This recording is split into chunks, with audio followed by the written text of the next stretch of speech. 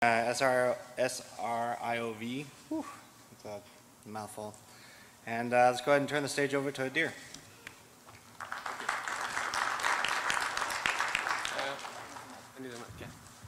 Okay, you hear me now? Okay. First of all, uh, how many of you are uh, familiar with uh, PCI, PCI Express? Uh, you know how they work more or less? Okay. Before I start, I start my talk, um, I have to show you this uh, legal disclaimer, and you're supposed to read it, and I hope that you did, and we can continue the talk. Okay, so this is me. I work at Intel. Um, I mainly break stuff uh, unofficially. Uh, officially, I'm a software and firmware reverse engineering and a security researcher. And uh, that's about me. We'll talk about um, something that is called SRIOV, but it starts uh, from the PCI, and uh, we'll continue to talk about PCI Express and the virtualization technique, and uh, I hope that we'll have enough time to show some cool stuff.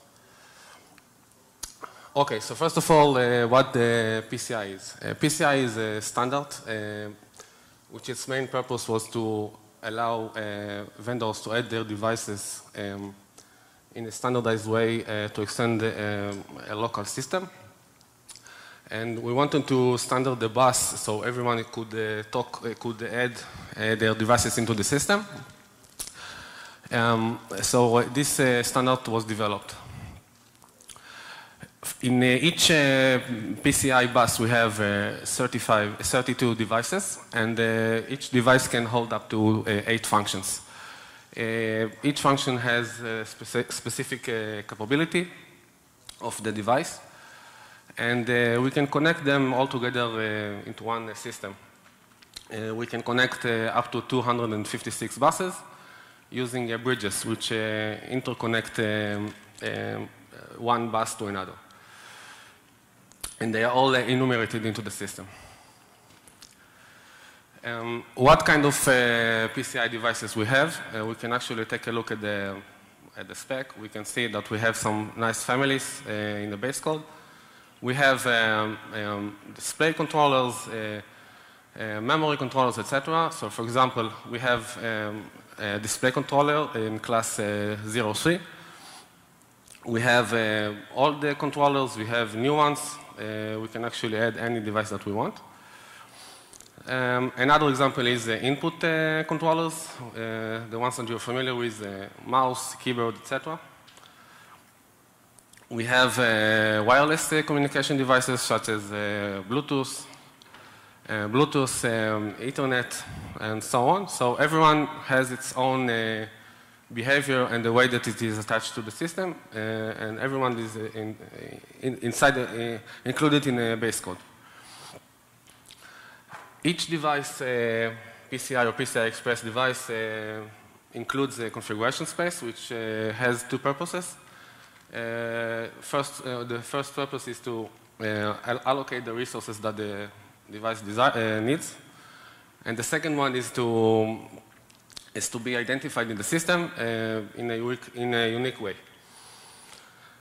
We actually have uh, three different uh, address spaces. Uh, the first one is the configuration space, which uh, identifies the system, and each device must uh, include it. And the second and third one are memory map space and the I.O. map space, which are the requirements of the device from the system to allow additional memory. But this is optional.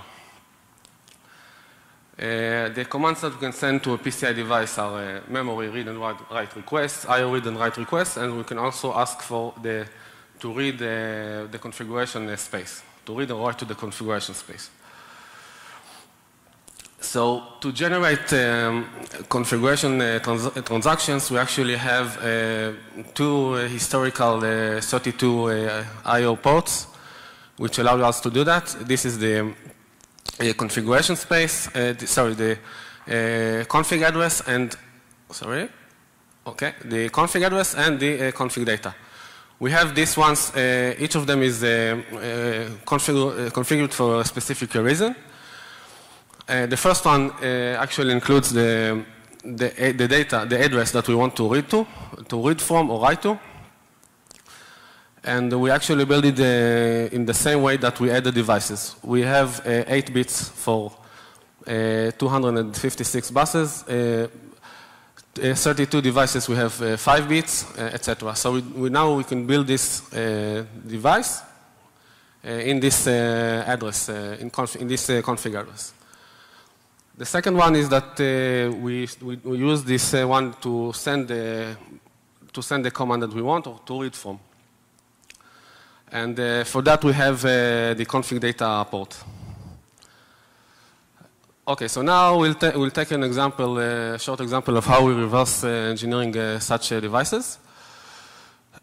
We'll start with the configuration read of the PCI. The PCI actually, um, first of all, checks if you are in debug mode. If it's not, if you are not, and in this case, we're not in debug mode. Um, we'll get uh, into the function and we'll start to prepare the, the address that we need. First of all, um, we'll, we'll prepare the, uh, the port that we need. We'll send it to uh, ECX. We'll prepare CF8. Uh, we'll move it to ECX. Now we'll take the uh, we'll take the address that we want to uh, to push forward. we'll prepare it in, ED, in EDX. Uh, we will start to prepare the, um, uh, the address. We'll, we'll take the EBX, um, which includes the offset. We'll take, uh, and then we'll prepare the, the port. So in the end, we have something like this. This one is pushed into the bus as a read command, and um, the result is, uh, and the result is written in in CFC, that port that we talked about earlier. And, uh, but we have the offset in RBX, and this is the, actually the effective address that we want to write to. So now we have the address that we want um, to read from, and it is included in, um, in R6. Now we read uh, 8 uh, bits from that address in R6, and we send, and we send the result and the result is written in EAX. And uh, we, we store it in EBX because the next, the next stage is to actually flash the bus and uh, to continue. So the, the final step here is to take uh, EBX, uh, move it back to EAX, and uh, then back to the system.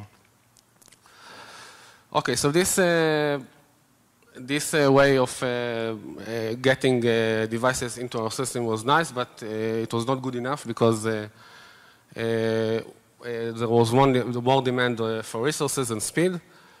And uh, if we wanted to extend uh, the, the, hardware capability, we had uh, scalability problems.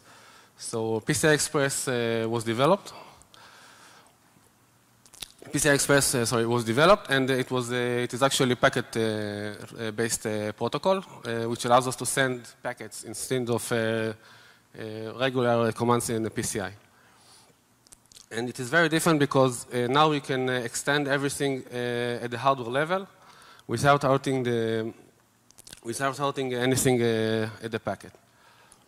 So PCIe devices use TLP, uh, they use TLP uh, to send the commands, memory read, write, I.O. Uh, read, write, etc. And we can pack them and unpack them just like TCP/IP packets. And the similarities are with PCI and PCIe are mainly in the software. Um, we, we uh, provide uh, backward compatibility with uh, PCI, but we extend the configuration space for in to four kilobytes uh, to allow additional PCIe uh, capabilities. So uh, what uh, components that we, we have in uh, PCI, uh, PCIe? In PCIe, we actually we start with the root complex. Um, the root complex is the same as the host, and um, sorry, it is the same as the host, and allows us to add root ports and, allow, and additional devices. Each uh, root complex include, uh, includes at least uh, one root port, which provides us hierarchies, different hierarchies in the system. Um, and they add bridges for, to, to add buses into our system.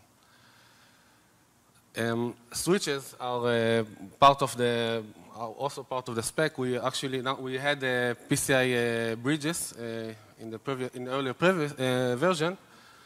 Uh, switches are built from virtual PCI to PCI bridges, and they al now allow us to add additional buses. So uh, the different, uh, the similarities to PCI are the same. Uh, classic PCIe Uh, fabric includes uh, 256 bus, uh, PCIe buses, 32, 32, 32 PCIe devices, and 8 functions. But now we have additional, additional ways to add more devices. So now we have another address space uh, also the same ones, but also we have a message space which allows us to, whoops, which allows us to add a, a message to send messages uh, from one uh, device to another. That is a replacement to interrupts. And the extended capabilities look like that. Every device includes a capability pointer, which includes a pointer to, to the capability linked list of that uh, device. And uh, once we have a capability pointer, we know uh, uh, what, the, what the devices we are talking with. Each device includes a capability ID, which is uh, assigned, uh, uniquely signed by a PCI SIG, the group that is in charge of PCI. And uh, when the device is, identif is, identified as a PCI Express device, uh, we, we, can take a look at the PCI Express capabilities register. And uh, for our example, we have a device or port type of that, uh, of that PCIe uh, device. And we can take a look that we can see that we, it can be a PCI Express endpoint, um, root port, upstream port, downstream port, etc. So we remain the old, uh, uh, we remain uh, compatible with PCI, and we have additional devices for PCIe. Each uh, device, uh, PCI or PCIe, has, uh, is uniquely identified in the system. Once your function is uh, identified, you're uniquely identified as a bus device function notation in the system, and you can take a look using LSPCI minus V in Linux. You can see that the, the capabilities of the device. So, for example, in this device, we have um, uh, it is an express endpoint, a PCI Express endpoint, and it also has SRIOV uh, capabilities and more. So you can actually take a look at each device that you have and, um, and uh, check its capabilities. So uh, what components uh, we have? When we talk about devices, uh, we actually specifically talk about the physical device itself that we insert into our PCI Express slot, for example. But functions can be either physical or virtual, and we'll talk about that uh, very soon. Uh, if we uh, if we take the physical resources, these are the memory resources that we, we get from the system. And each of them includes uh, an address transla translation cache um, uh, to be added uh, to, um, to allow managing the system. Any questions so far? Hope it's not uh, too boring. yes? So you, does it, does is the T, it uses the TLB, a separate TLB on the CPU? No, it, it is a different one. Uh, oh, um, the question was if it is the same, same uh, TLB. No, it's a different uh, TLB, which is the TLB on the on the PCI device or is it on the CPU? it is a it is a TLB on the PCI. We have local uh, TLB. We also have um, another one which is part of the IOMMU, which I will talk about uh, soon. The question was uh, about the TLB and how it works. Okay, so now we have um, uh, we can extend our bus and we can add uh, additional uh, resources, but we want to use them uh, wisely. First of all, we have a motivation to take our devices um, and use them in a way that uh, one device will not uh, interrupt with, with, uh, with, another. Uh, and we especially want to do that to prevent uh, direct access to uh, physical to physical memory resources from one device to another. And uh, the concept will be with uh, managing and uh, separating each device using a VMM. The VMM can be the implementation of the, of the device, and it can be the, part of the system. And we'll want to do that, uh, for example, uh, with NICs, uh, graphics cards, SSD cards, etc. Um, part of the solution is to, to add a hardware-based DMA remapping. Uh, DMA allows us to um, access, uh, uh, allows us direct memory access without, without interfering with the CPU but we don't want each device to uh, be allowed to do that. So we, we want to assign uh, each de- device a virtual address. It will be remote accordingly to a different region. And uh, this is part of the solution in the hardware. Uh, if we like the translation and we want to, we can actually cache it and we can uh, use this as direct assignment of the, of the I.O. device um, to allow direct access to the specific uh, physical region. So first of all, we need to check that uh, if uh, IOMMU or VTD is enabled in your system, we'll do that with this uh, command, grep uh, uh, minus E, uh, DMA remapping.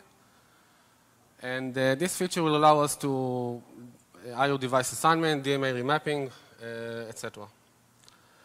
So we have different uh, solutions uh, to do that.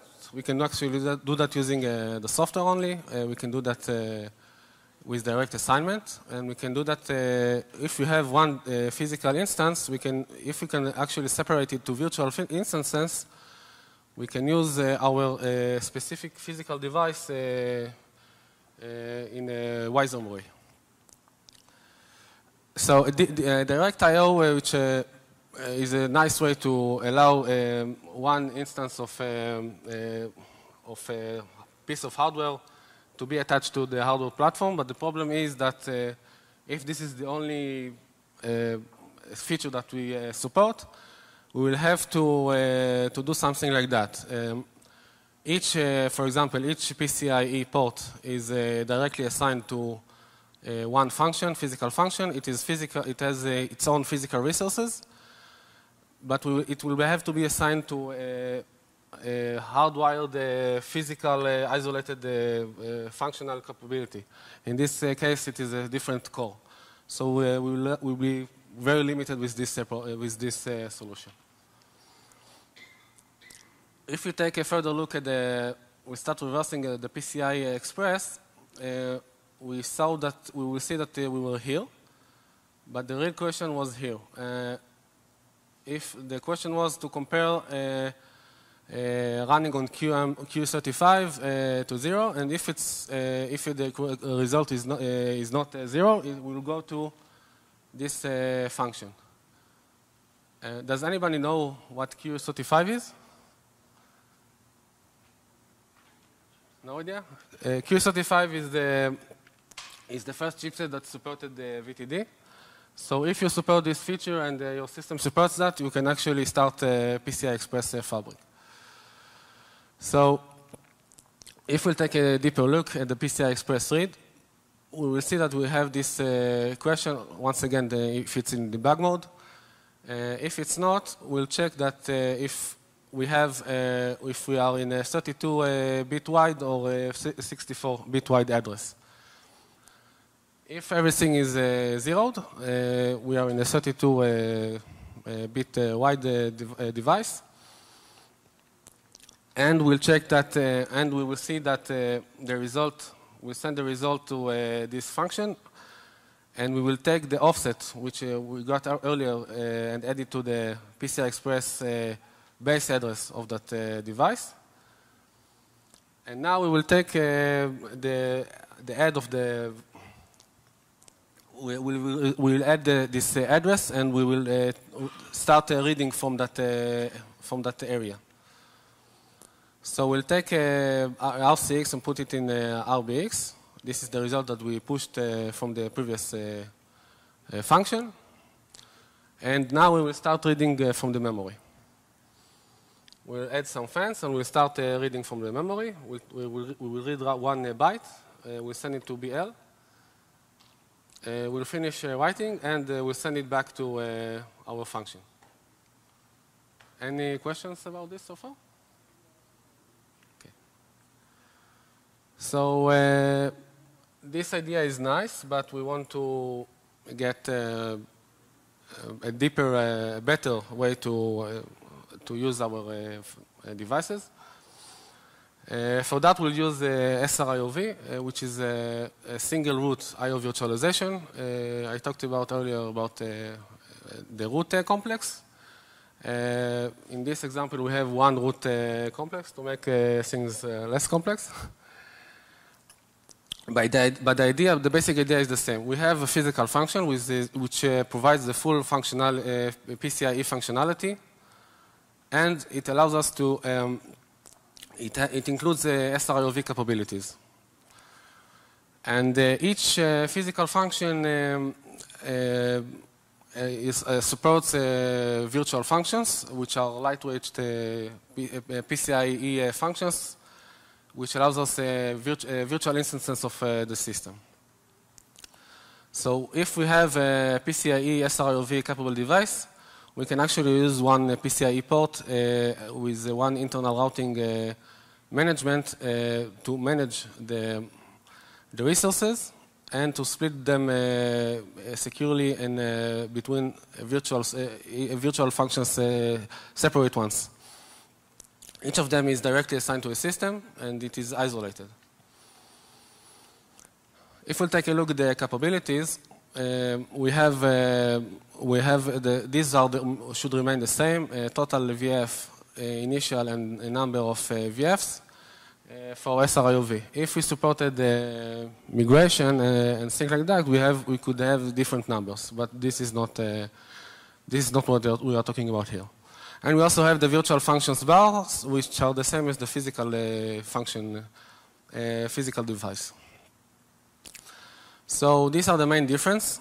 Uh, the physical device, we have only physical separation between the ports, and with SRIOV capable device, we can actually take one port and uh, use the, the system's uh, hardware capabilities to, uh, to allow separation of uh, uh, different virtual functions, sorry, virtual, uh, different virtual functions to, to allow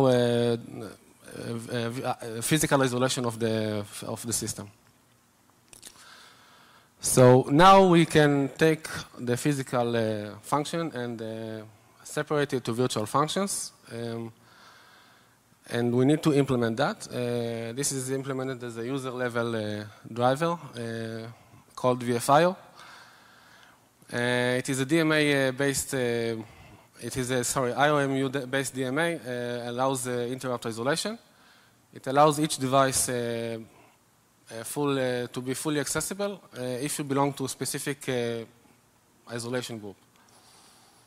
So the idea is that uh, IOMMU is in charge of creating isolation uh, groups based on the support of the, how, uh, the system, the devices that support it. And uh, you can't, uh, th- this is done automatically, uh, you can't uh, change the behavior. But once you have uh, groups, isolation groups, VFIO uh, moves the ownership of, the, of your device into a specific group that you belong to. Think about it uh, in Linux, you have uh, groups, and if you have some users that belong to the same group, they actually have full ownership for any file that, belong, that appears there. So uh, we actually take uh, something like a file system. Uh, each file is, is added as a region. Each region supports um, the group, the specific group. And if you belong to a specific region, um, you can access the um, you can access the uh, um, all the resources that, that appear there. So you can actually add different devices, uh, talk with which, which uh, each other in the same group, um, and they will not uh, interfere with other uh, groups.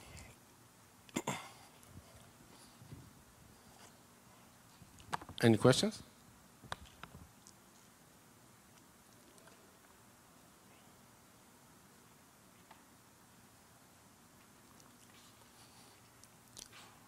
Okay, so now we'll take a look at uh, SRIOV, uh, what we can see while we reverse engineer it. First of all, if our device supports uh, SRIOV, um, we will have a physical function uh, with the uh, specific capability that we need. So if we have this uh, SRIOV capability, we will start looking for um, uh, virtual functions. Um, so the first step is to uh, call the VFIO uh, uh, IOMMU group get and uh, query and query the, the physical function which group it belongs to. To do that, we will actually get into the physical function device and we'll start reading uh, the virtual functions there. And uh, for each virtual function that we find, um, we will allocate uh, the memory for that specific uh, virtual function. And when we are done with that, first of all, we will allocate the, the memory for that. And when we are done with that, uh, we will put it. Um, sorry, if we, if we find a device, uh, we will check for its capabilities.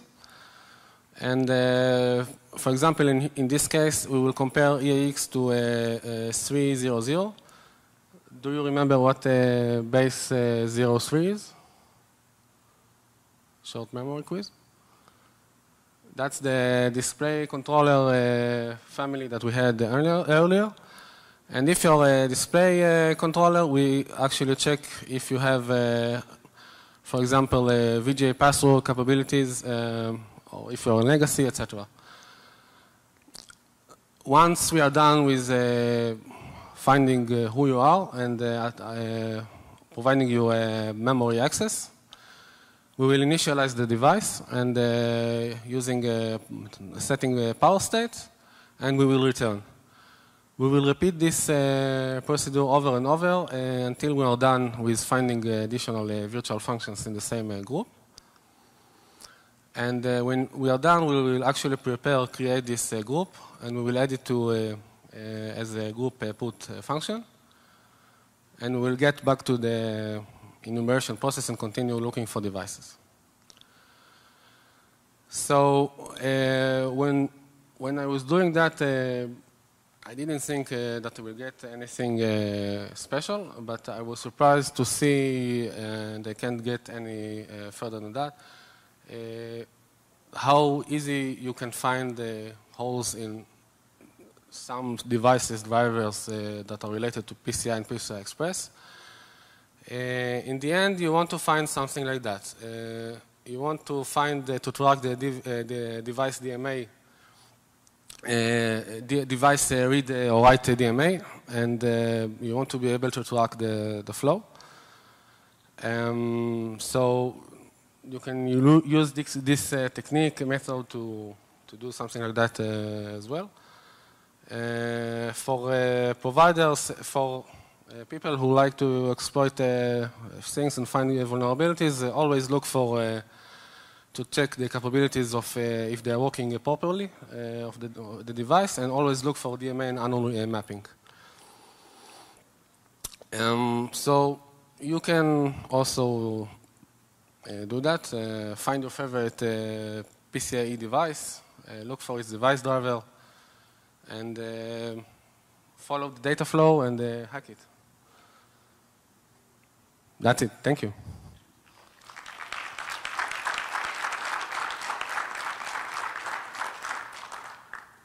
Any questions?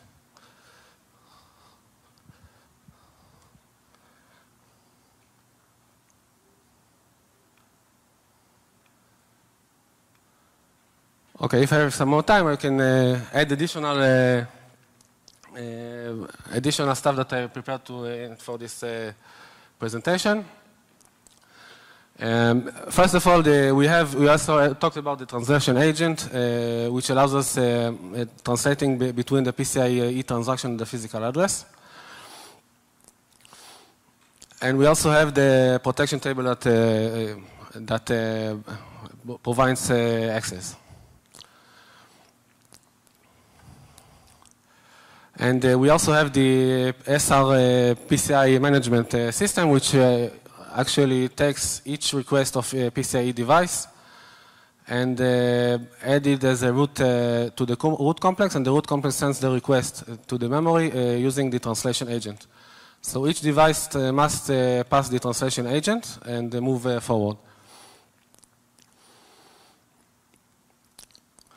When we do that, we actually have the translation agent pa passing the data uh, between the, uh, the memory and the CPU.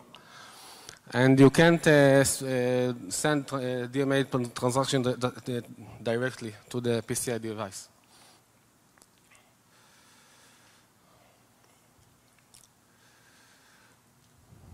Okay. Um, we also have ARI, which is uh, which allows us to add extensions to the system. Uh, uh, previously, we had uh, we could add eight functions because of the limit of uh, eight functions per uh, device.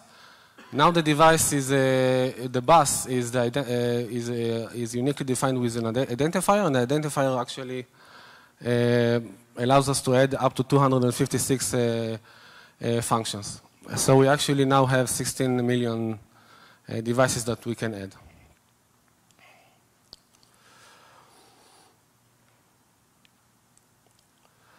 And uh, we also talked about uh, the configuration space of SRIOV. Uh, we have the initial, uh, initial uh, uh, virtual functions.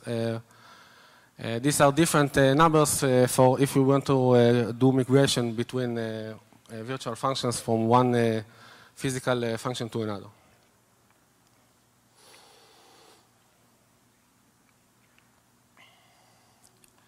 So we'll sum it up with a little, example, which I'm glad that I have uh, some time to, to do it.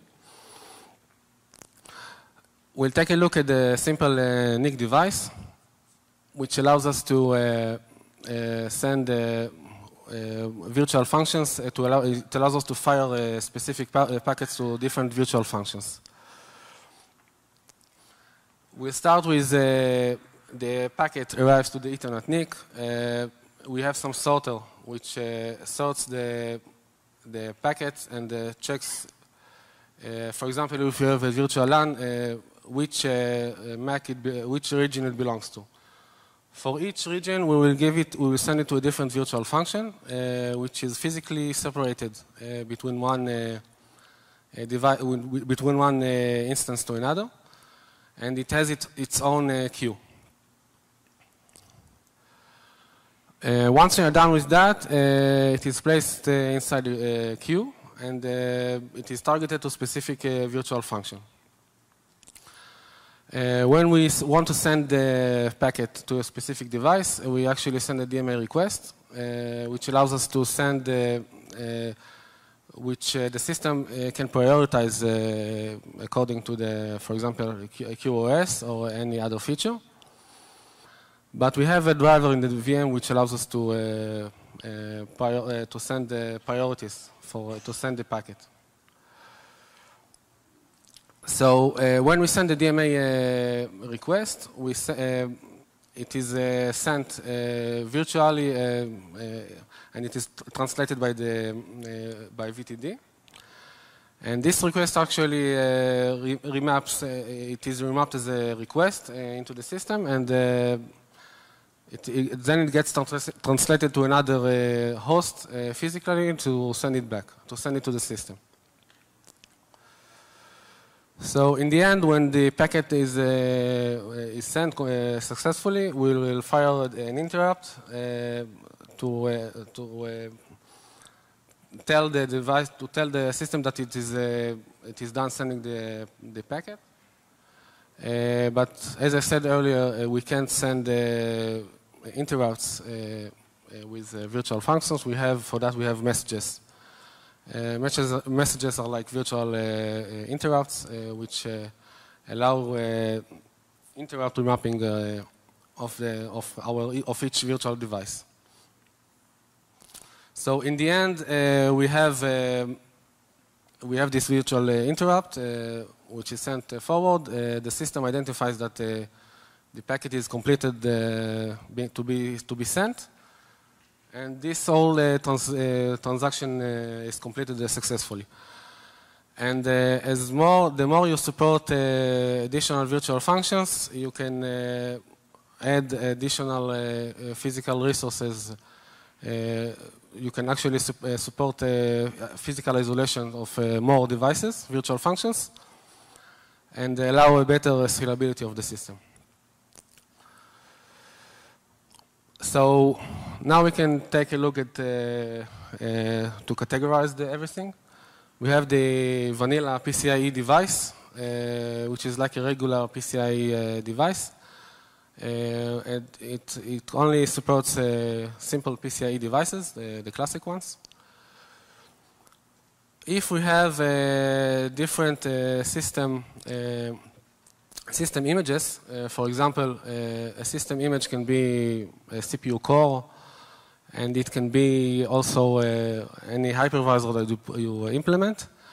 You can attach each uh, device uh, as a physical function uh, to specific system image. So if you don't support SRIOV, you must assign each physical device to a physical instance, which is separated in a native way. But SRIOV uh, adds this uh, virtual function capability, which allows us to take a look at the physical function as one instance and uh, send it and split it to different instances. And, and, each instance is could be mapped, mapped to a specific system image. Uh, if, for example, uh, the device goes to sleep, uh, the system, the specific uh, system image uh, might be used. Uh, so you have to move from one system image to another. So you have to support sharing system images with the device. So this is another capability that you can support. So we have this uh, physical uh, multifunction device, as we talked about earlier. Uh, we also have the way to add uh, Uh, different uh, physical functions uh, in the same uh, physical uh, port, and, but we will not get into that, but it's also possible. And uh, this is this was uh, the example that we talked about uh, earlier. SRIOV capable device allows one physical instance to to map virtual functions to that and split the uh, physical resources accordingly. Okay, so now I'm done. Thank you. Any questions? Yes.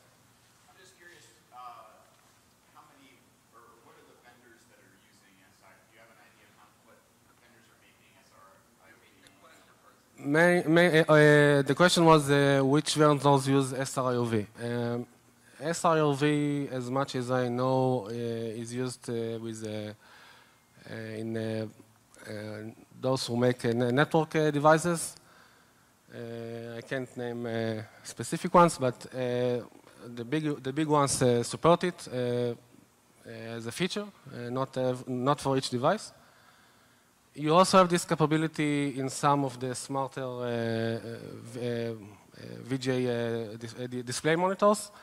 Uh, display monitors, uh, you can actually take one port and split it to with three different monitors. mainly gamers do that. You can actually use this capability to split different memory regions with one port.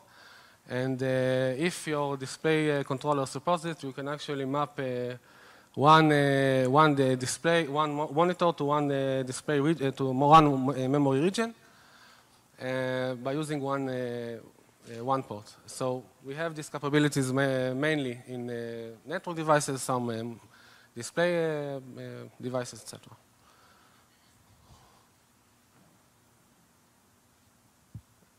Any more questions? Yes.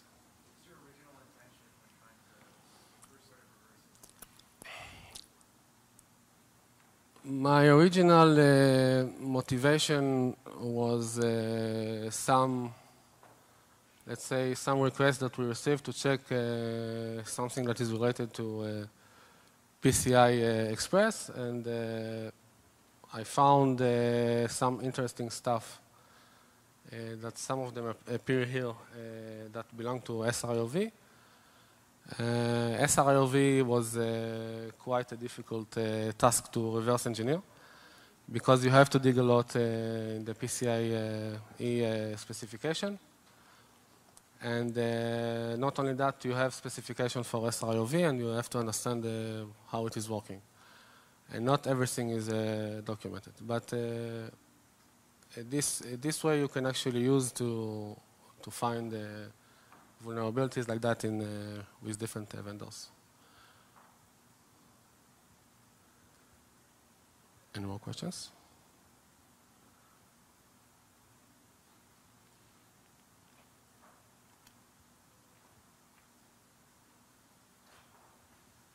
Okay, thank you.